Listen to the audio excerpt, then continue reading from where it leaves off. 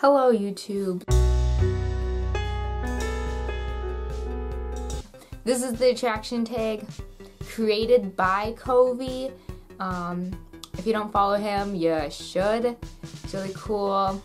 The reason that I was attracted to the attraction tag was because it covered so many details about attraction that people don't really think of and even when he was going through it, I was thinking about some of the different things of the attraction tag and I thought it was really really interesting to look at attraction in so many different ways, especially as someone who you will find out is asexual. So let's get started. In terms of romantic attraction, what genders, if any, are you attracted to? Romantically, I am mostly just attracted to males some non-binary people. In terms of sexual attraction, what genders, if any, are you attracted to? None. I have never looked at somebody and been like, oh, I want to have sex with them.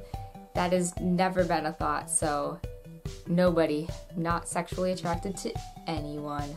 In terms of aesthetic attraction, what genders, if any, are you attracted to? Aesthetically, like people that I could just stare at and admire, basically any genders. If somebody's really pretty, I'm just gonna be like, you're pretty. I like looking at you, and that's just how it works for me. In terms of emotional attraction, what genders, if any, are you attracted to? Emotionally, I am attracted to any genders. If I can make a good bond with them, then emotionally I'll be pretty attracted to them. Do you get crushes on people? What genders, if any? I get crushes on guys.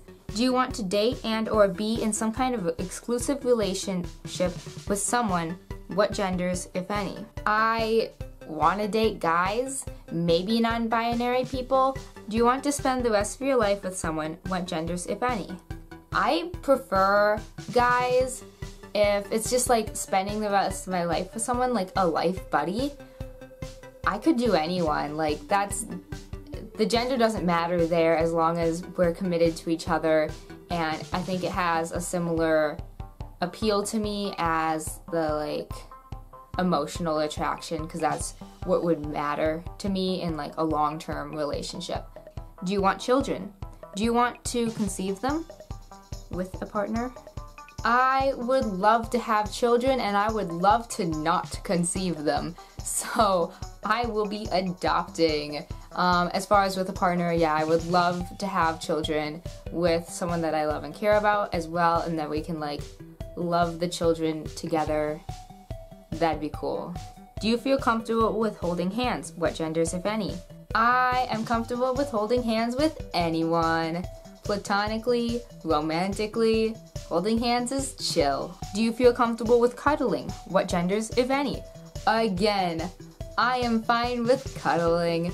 Obviously, at that point, I want like an emotional co connection. Like, if I'm holding hands with someone, like for a game or an activity or something, like, does not matter. Cuddling, I want an emotional attraction. Do you feel comfortable with kissing or making out? What genders, if any? I am not comfortable with kissing or making out, so no one. Do you feel comfortable with going all the way? What genders, if any? No. no genders, nobody.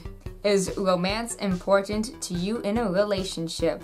Pretty important. I mean, it doesn't have to be like the big thing. We don't have to be super romantic or anything like that.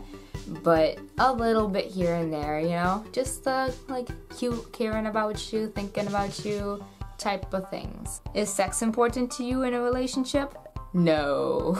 Out of everything, what is most important to you in a relationship? Communication is definitely going to be the most important in a relationship. Thank you so much for watching. If you have any more questions or clarifications, feel free to ask questions in the comments below. See you soon. Bye.